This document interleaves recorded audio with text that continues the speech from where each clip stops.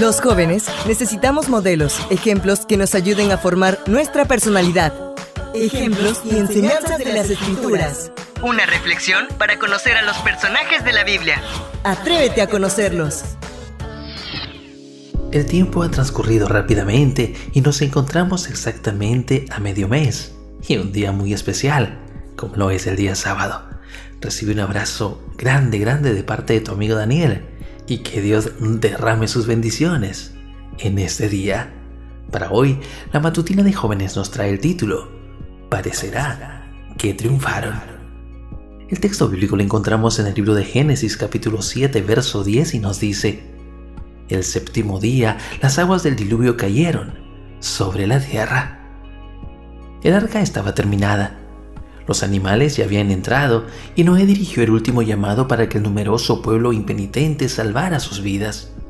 Noé, sus hijos y sus respectivas esposas entraron al colosal barco y luego Dios envió un poderoso ángel que cerró la puerta. Durante seis días, Noé permaneció dentro del arca sin que cayera una sola gota de agua. Durante seis días, Noé y su familia fueron severamente probados. Noé fue ridiculizado y su mensaje dio la impresión de ser falso. El mundo gritó victoria y los hijos fieles de Dios parecieron derrotados. Pero al séptimo día las aguas del diluvio cayeron sobre la tierra. Cada hombre y mujer de esa raza longeva se convenció que hay un Dios en los cielos que juzga las acciones. Mientras el agua caía, todos los que estaban fuera del arca se dieron cuenta que la paciencia de Dios tiene un límite y que solo los hijos fieles al Creador pueden confiar en la victoria. El Señor Jesús nos advirtió que la venida del Hijo del Hombre será como en los días de Noé. Es decir, habrá un tiempo de angustia para el pueblo de Dios, mientras que el mundo creerá haber vencido. ¿Cuál es el propósito de Dios? ¿Permitirles a los incrédulos que parezcan que obtuvieron la victoria? El Señor está mirando con piedad, con compasión y con tierno anhelo a sus hijos tentados y probados.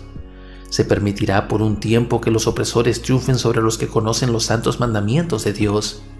A todos se les da la misma oportunidad que se le concedió al primer grande rebelde para demostrar el espíritu que los mueve a la acción. Es el propósito de Dios que cada uno sea probado para ver si será leal o desleal a las leyes que gobiernan el reino de Dios. En los últimos días, Dios le permitirá a Satanás que revele su carácter como mentiroso, acusador y homicida. De esta manera, el triunfo final de su pueblo resulta más evidente, más glorioso, más pleno y completo. Elena de White, Mensajes Selectos, tomo 3, página 473. La historia de este mundo se precipita para un desenlace fatal.